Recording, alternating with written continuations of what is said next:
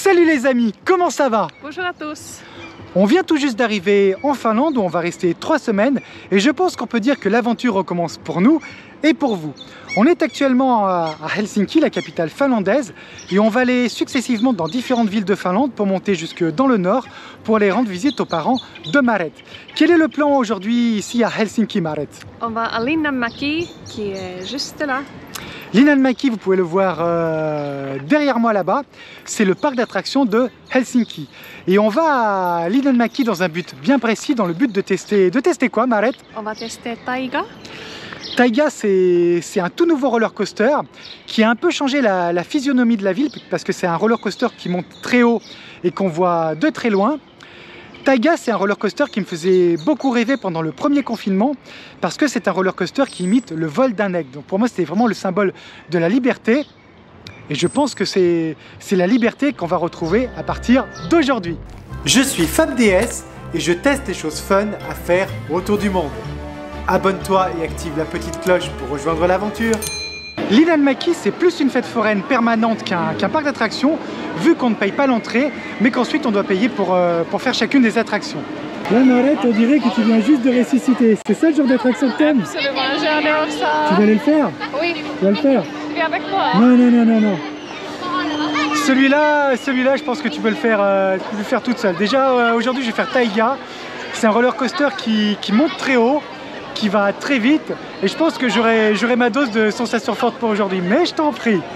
En fait, Marette, elle aime beaucoup plus les attractions qui remuent que les roller coasters et moi c'est l'inverse. Je préfère les roller coasters que les attractions qui remuent parce que ça me fout un petit peu trop la gerbe. Ah oui, qu'est-ce que c'est ça? C'est son sac. Hein. Vous avez vu un petit peu comme je suis sexy? And I know it. Regardez là, là-bas. Et comme d'habitude, elle se marre. Oh, comme elle se marre. C'était comment C'était ihana. Ihana, ça veut dire quoi en, enfin, uh, lovely. Lovely. Lovely. C'était super. Là, oui. là j'ai vu que t'arrêtais pas de te marrer en fait. Hein. Non, mais je, je l'ai bien aimé, donc euh, je suis contente. L'heure est enfin venue de monter à bord de Taiga. C'est le plus haut et le plus rapide roller coaster de Finlande. Et en plus, il est même lancé deux fois. Je suis excité et terrifié à la fois, mais comme je vous l'ai dit précédemment, pour moi Taiga c'est le, le, symbole de, de la liberté retrouvée et je pense que pour ça je peux essayer de surmonter ma peur.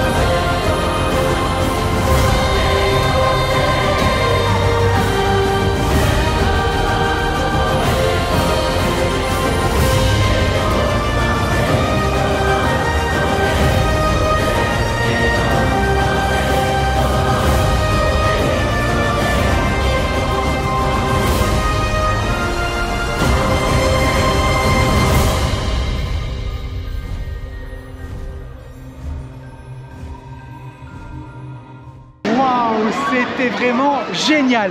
Au début du roller coaster, c'était vraiment la, sensation de, la liberté retrouvée, la liberté de voler comme un aigle. Et c'était vraiment le kiff intense. Mais j'avoue que, que, vers la fin, j'étais un peu plus proche de, la gerbe retrouvée. Ça brassait un petit peu trop pour moi. Dans tous les cas, j'ai vraiment kiffé. Et je pense que c'est le roller coaster le plus intense que j'ai fait dans ma vie jusqu'à présent. Encore plus que, que le Smiler à Alton Towers, qui était le roller coaster le plus intense que j'avais fait jusqu'à présent. La saison des parcs d'attractions est ouverte et c'est le moment ou jamais de porter mon t-shirt FabDS dans les parcs d'attractions.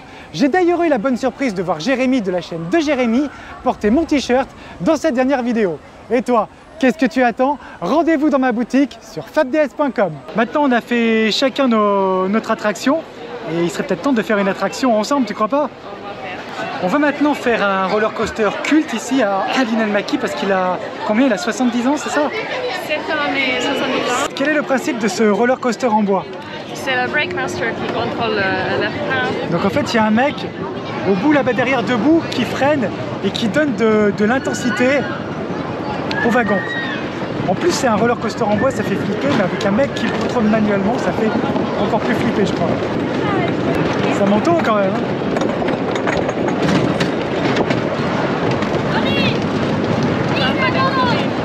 Nanine Oh Nanine, regarde comme c'est haut, tu rigoles ou quoi Oh putain.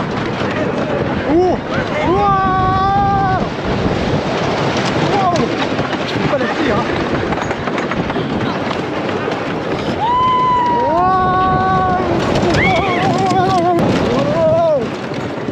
Mais ça remue trop Marette, j'arrive même pas à tenir la, la caméra tellement que ça remue. Wow. Ma dernière attraction aujourd'hui, ce sera une maison hantée. J'ai toujours adoré les maisons hantées, surtout dans, les fêtes foraines, avec les devantures qui font, tellement rêver, qui attisent l'imagination. Et après, à l'intérieur, c'est pas forcément aussi top, mais je suis curieux de découvrir euh, la maison hantée de Linan Maki. Bah finalement, c'était vraiment cool. On vient tout juste de quitter l'Inalmaki, maintenant la nouvelle attraction c'est la course à pied. Pour pouvoir rentrer à l'hôtel euh, à temps pour voir le match de l'équipe de France pour l'Euro 2020, France, euh, comme on n'aura pas un suffisamment bon timing, je vais envoyer mon personnel shopper, voilà, Marette, euh, acheter mes bières, n'est-ce pas? Donc tu me prendras de la bonne, hein, Marette, hein, de la bonne Lapine Kulta ou de la bonne euh, bière Karou qui donne de la puissance aux supporters. Je pensais voir le match de l'équipe de France à l'hôtel, mais on a trouvé encore mieux sur le chemin du retour, on a trouvé un écran géant et c'est encore mieux comme ça. Allez les bleus. Comment est cette glace, Marette Ah, c'est très bon. C'est une glace au chocolat Oui. Comment on dit chocolat en finnois Chocolat, Soukla et la glace c'est donc c'est Soukla Yatero. joo. En fait là je me dis que en prenant mon café au bord du lac euh, ici en Finlande, je suis juste en fait en, en train de vivre euh, la vie normale. La vie normale qui paraît si loin et si proche à la fois. Et, euh, et en fait c'est possible ici en Finlande parce que les taux de les taux de Covid sont, sont relativement, relativement bas. Donc on peut, en- j'ai mon masque, hein, vous pouvez le voir avec moi, mais je le porte pratiquement pas. Comment tu te sens toi, Marlette Libre. Voilà, je voulais juste partager cette petite parenthèse pour ceux d'entre vous qui se demandent Eh, Fab, comment tu as pu voyager alors que c'est pas vraiment possible? Euh, C'est principalement parce que, euh, parce que ma copine est finlandaise. T'as mal aux pieds, on a trop marché, c'est ça? Oh, on a marché toute la journée. Il faut que tu changes de chaussures. En fait, là, je me rends compte qu'il est, il est quelle heure? Il est presque 19h et on n'a même pas mangé. Et donc, on a pris le petit déjeuner ce matin, c'était plutôt light. Cet après-midi, on a pris une glace, enfin, deux pour Marette, hein, parce que là, elle, est- elle est sans pitié, faut bien le reconnaître, n'est-ce pas? Ça te fait quoi d'avoir pris deux glaces? T'as aucun remords? ah parce que c'est l'été, Il fait Voilà. chaud. il fait chaud donc on mange des glaces. C'est vrai qu'elle a raison. En plus de ça, on a bu un petit peu, moi j'ai bu deux bières et euh, on peut dire qu'on a bu à jeun. Donc il serait peut-être temps de, de trouver quelque chose à manger. J'ai mis mon masque parce qu'on est arrivé dans l'hôtel, on est en route pour notre chambre. Et en tout cas, cet hôtel, c'est un vrai labyrinthe. hein. Chaque fois qu'on doit trouver notre chambre, j'avoue qu'on se perd dans les couloirs. Et c'est une sacrée aventure. Je vais vous montrer à quoi ressemble la chambre.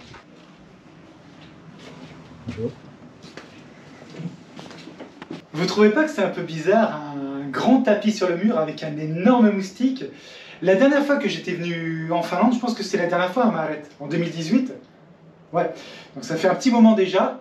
Et je me souviens que j'avais joué au foot avec, euh, avec des amis et je m'étais fait défoncer les jambes par les, par les moustiques. C'était pas les moustiques, c'était les mouches noires. Comment on les appelle? Makarainen. les macarainen, les macarainen, donc c'est des mouches noires.